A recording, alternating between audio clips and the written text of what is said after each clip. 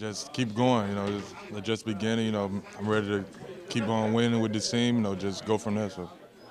Feel like uh, you be limited at all in practice? You expect to go full go out here this week? Um, I really don't know. I mean, that's the same thing. I, like I said last week, you know, just keep trusting their plan. Whatever they got me doing, just just go with it. You know, I'm, I don't know. I mean, I'm right now at the phase right now. You know, like you said, coming off the injury, you're gonna be limited or you're not gonna be limited. I really don't know. So just trusting their plan with me. You had a chance to watch the tape. How, what, how would you grade your performance? Man, you know, I made a couple plays, you know, here and there, but you know, like I said, after the game Sunday, I have a lot of work to do. Um, as we watch film, you know, I'm listening to Coach Cheatham, them, you know, make the correction, but you know, also taking the coaching because, like I said, I have a lot of work to do.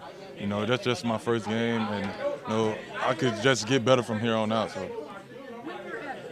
What's the aspect of your game that you think is your strongest? I mean, Strength, mobility.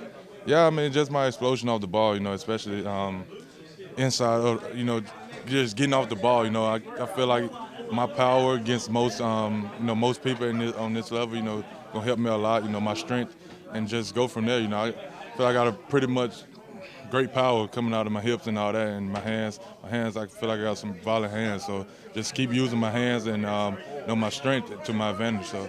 How you feel you held up from a conditioning standpoint? Okay.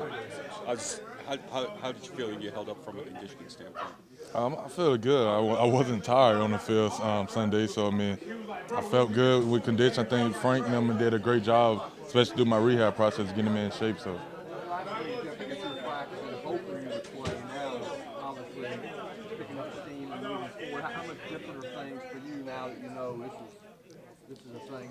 I mean, it's kind of. I mean, I wouldn't say it's too much different because because last week, you know, I was um, preparing um, all week just like I was getting ready to play on the game Sunday, which I, you know, didn't really know whether I was gonna play or not.